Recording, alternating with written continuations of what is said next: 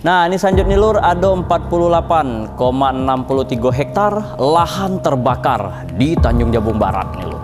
Tepatnya di Kuala Tungkal. Dan kebakaran hutan dan lahan kerap terjadi setiap tahunnya. Hal ini terbukti dari data BPBD Tanjab Barat. Terdapat 48,63 hektar lahan gambut terbakar lur. Dan ini tercatat sejak Januari hingga Oktober. Meski demikian, petugas gabungan Karhutlah tetap standby jika sewaktu-waktu terjadi kebakaran lahan. Bagaimana beritanya? Ini dia.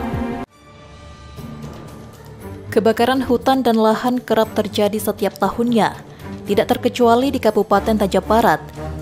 Dari data BPBD Tanjung Jabung Barat, terdapat 48,63 hektar lahan terbakar. Sekretaris BPBD Tanjab Barat Kusirwan Rizal membenarkan, luasan lahan yang terbakar dari Januari hingga Oktober 2023 ini atau terdapat 32 kejadian lahan terbakar dan terjadi di tujuh kecamatan.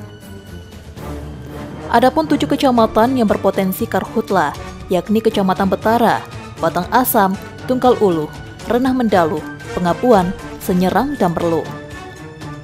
Namun di bulan Oktober ini, kasus kebakaran hutan dan lahan cukup luas, atau sebanyak 14,40 hektar yang terjadi di tiga kecamatan, yakni Kecamatan Betara, Pengapuan, dan Senyerang.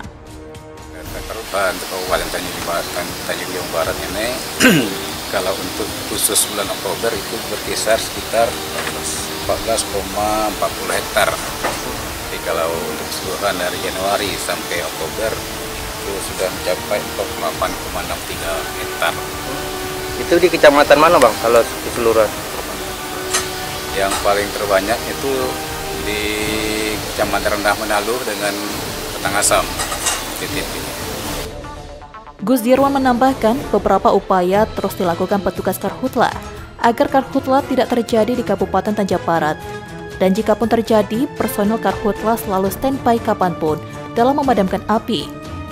Sebab ini menjadi tanggung jawab bersama bagi petugas Karhutla yang terdiri dari BPBD, TNI, polisi, Manggala Agni, dan tim RPK perusahaan. Surya Kurniawan, Cek TV, melaporkan.